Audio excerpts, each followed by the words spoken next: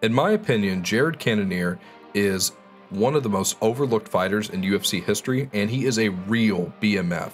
I'm not throwing any shade at Justin or Jorge. I'm just saying I think Jared is a real BMF. And I'm going to tell you why in a second. But guys, before I get into all that Jared Cannonier stuff, I'm super excited to announce that I just started a channel membership for a small monthly cost. You can get some extra perks for the channel. Guys, if you are interested in that, there is a link in the description. And before I get started, please consider liking and subscribing to support the channel. Now, let's go ahead and get into Jared Cannonier. Jared Cannonier has a fight coming up against Roman Dolidze. And when this was announced, I was really, really surprised. And here's why. Roman Dolidze's last fight was a good fight with Marvin Vettori where he ended up losing. It was clear one round to two. Marvin won two rounds. He won the fight.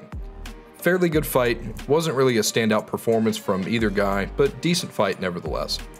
Marvin, off that win, goes on to fight Jared Cannonier a couple months later.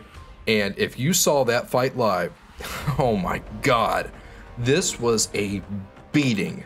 This was one of the worst beatings I've ever seen in UFC history and MMA history, not, not even just UFC.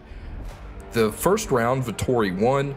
Jared Cannonier wasn't really clicked in on that first round. He was just kind of feeling feeling out Vettori that first round. I think Marvin won it off activity.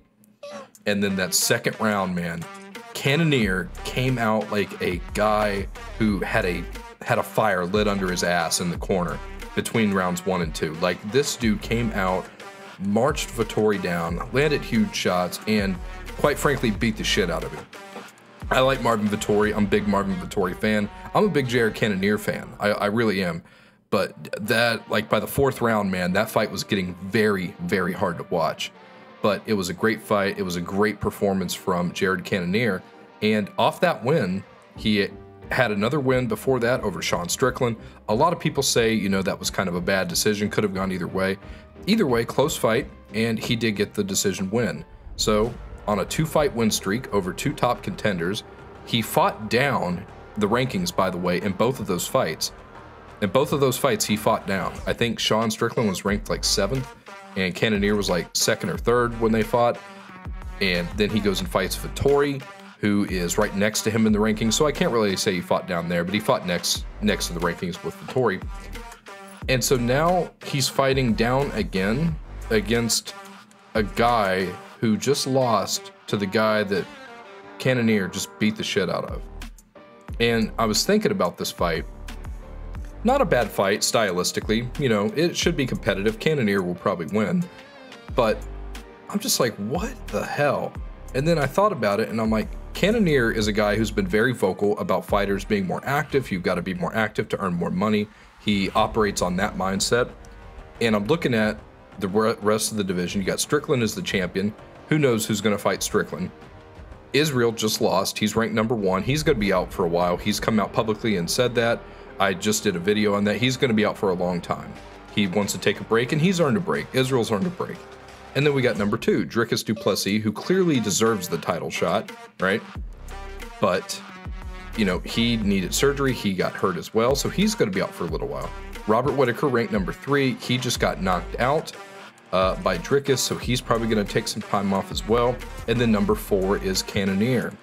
So it just simply looks like the four guys above him, you know, the three contenders and the champion, are just going to be busy because it seems like Sean Strickland is going to fight the winner of Paulo Costa and Kamaru Usman.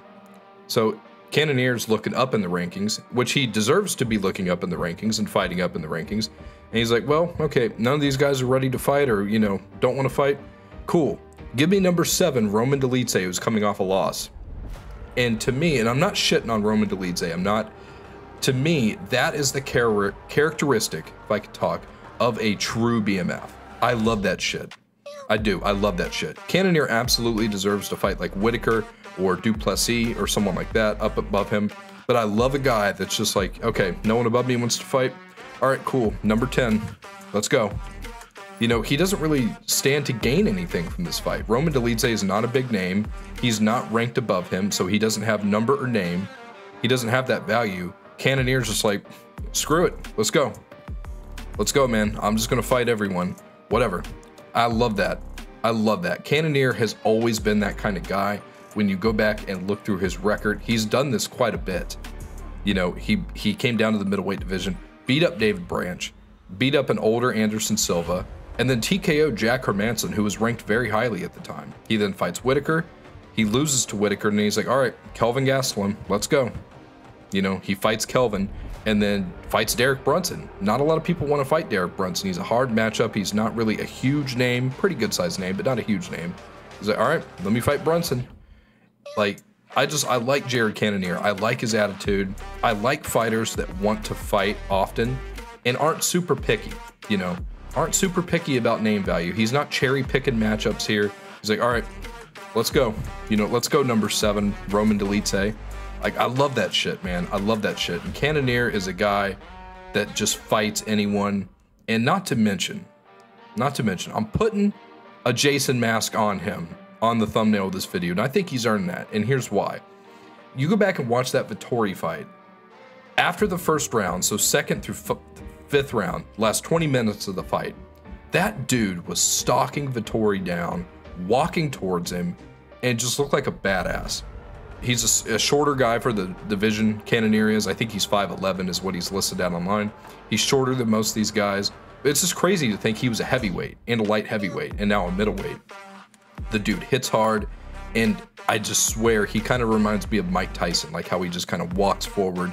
He's not intimidated by any of these guys. He's going to throw power shots, and he's just always coming for you. Even if he's losing the fight, he's still coming forward.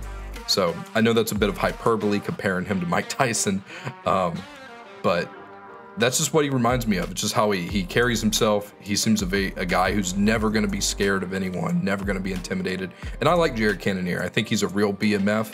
I like the guy a lot, and I, I think he's going to beat Roman Dolidze, and then he is like right back up there in the title title picture again. So, guys, leave me a comment. Let me know what you think of this situation. Do you think it's a little weird that Cannonier has taken this fight. I think it's a little odd rankings and merit wise, but from a BMF perspective, man, this makes all the sense in the world. So, guys, like and comment, like and subscribe if you enjoyed the video, and I will see you in the next one. Take it easy.